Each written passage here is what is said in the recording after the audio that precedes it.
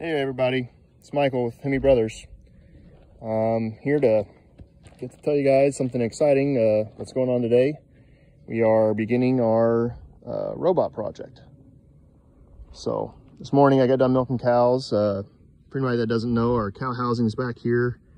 Um, I put the cows in the barn. It's a compost bedded pack barn. And I was walking up to the house here and uh, through the fog I could see some trucks and trailers pulling up.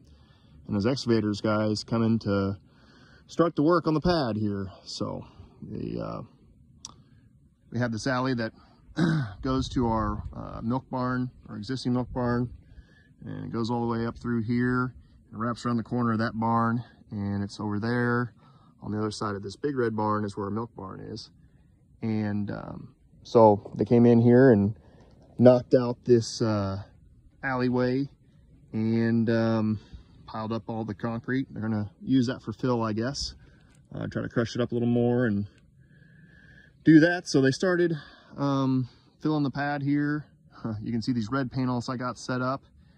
Uh, while we're doing this project, we're gonna have to route the cows um, around the project.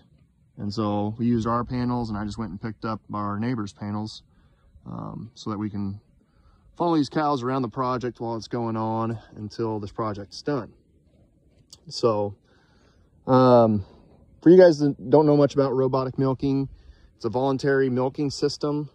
Uh, currently, right now, we milk twice a day, 5 a.m., 5 p.m., and we bring the cows up uh, down this alley twice a day to go get milked um, and milk them in a, in a parabone parlor, a double 18. Um, so the way to work with the cows um, in the milk barn now, they will walk up this alley and come in here where there will be a stationary robot that they'll walk into and it will milk them voluntarily. They'll be incentivized to come in and get milked with the um, incentive of having uh, grain provided to them through the robot. So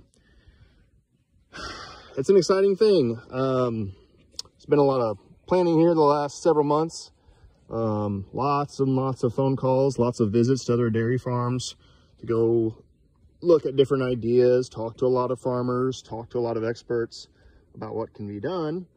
Um, but we decided to put the facility right here because we'll still be able to have the cows haul the milk essentially and walk up here and uh, get milked here and then the milk will get pumped past this barn and down to our milk house which is right down here. So the line will actually travel over this lean-to, go down, go into our milk barn, into the milk house, into the tank, and it'll get pumped over into our creamery building.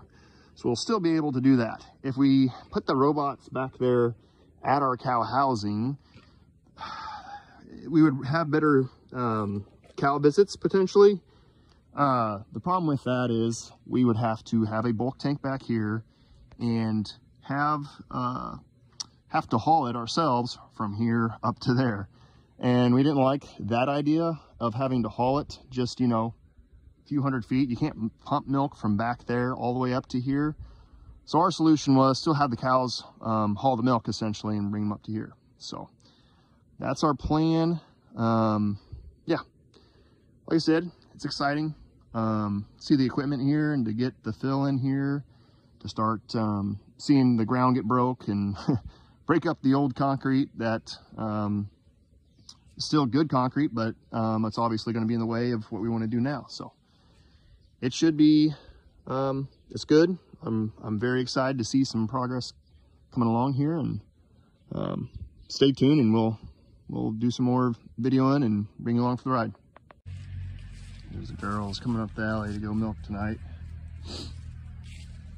First time walking them around the construction site here.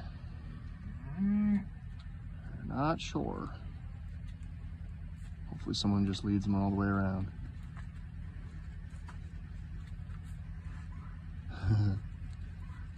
Take a little bite of grass.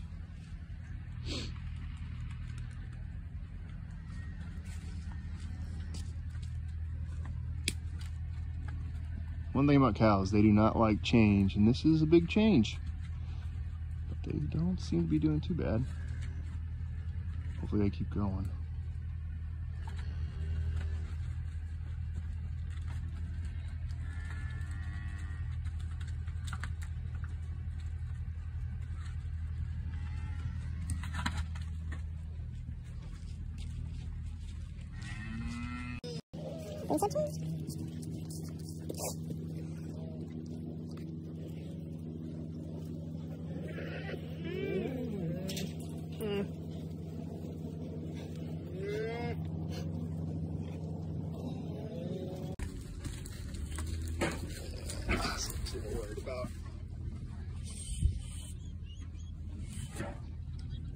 Hey girls. Keep her moving. Hey. Hey, hey. Hey. Come on. Move it up there. Move it up there. Hey. Oh, come on. Take a left-hand turn. There you go. Somebody's smart. Good job. Come on, ladies. Mm-hmm. Come on, Buggy. You know, well, this is Buggy. Because she's got bug eyes. Sorry, Buggy. Not hating on your looks. Come on, girls. Here we go. Keep her moving.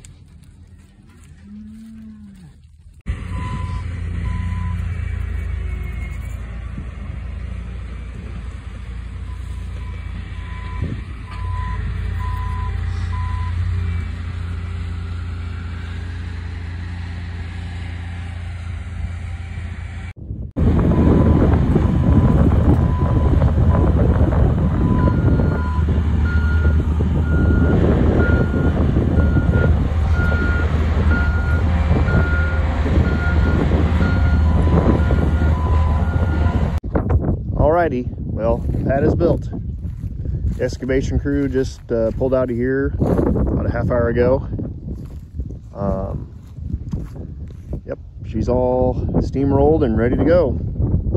So we had to bring in quite a bit of fill. I don't know how many loads it was, but it was a bunch. they um, had to uh, bring in a lot on this end because we knew we were going to be low on this end.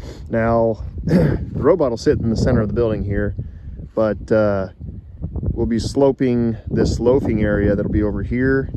We'll be sloping it to the one side towards the drain to make it easy for cleaning up. So we'll be taking a lot of this fill out. But uh, uh, the concrete guy wanted a nice level pad, so nice level pad is what he got. So, um, yep, she's ready to go. Um, we can use some of this other fill that we'll take out whenever we put that slope in for the holding area. We can use that for whenever we pour some concrete here to get the cows into the building here and, whatnot. Uh, to ramp that up a little bit and whatnot. So um, yeah, hopefully we're gonna get some uh, concrete poured next week, depending on how this weather goes. I know this time of year it starts to get pretty darn cold and be a little hard to work with, but hopefully it'll work out for us. So anyways, guys, uh, appreciate you watching and uh, hope you have a good day.